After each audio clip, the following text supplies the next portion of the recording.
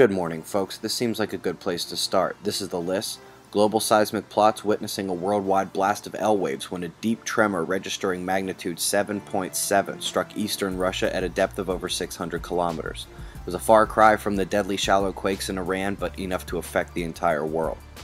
Volcanoes are part of the watch too. Katla is the big one up here in Iceland and was put back on watch after some minor tremors. We had a 5.4 in Pakistan yesterday, a 5.2 in the South Sandwich Islands, and a 4.3 in Djibouti, where Africa meets the Middle East. You remember we had two volcanoes on watch in New Zealand, then the lava rocks in the ocean. They had pegged that source up north, and then remember they take satellite imagery of this area compulsively. Here's an image of what caused that massive blob of pumice floating out there.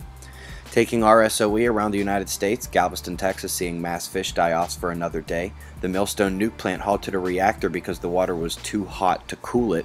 Landslides in and around Yellowstone are closing roadways. We have blue-green algae at Dexter Lake in Oregon, some different poison algae found in Guam, and I'll give you two guesses what kind of weather they don't want any more of down here.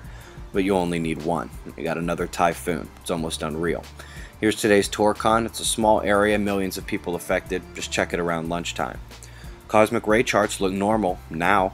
Luckily, Mr. MBB333 caught what they took down. This is from two days ago, and it's tough to say this is data error anymore. While he and I might have some different ideas about what's going on, he's a good guy and he's got some eyes open. And if I may offer something for those who watch the Bartol here, keep track of this chart below. These lines can tell you the exact location of the source within the Cartesian plot of the solar system.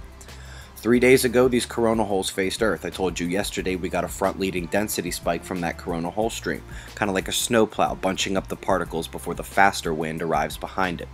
Let's have a look at an odd transequatorial coronal mass ejection.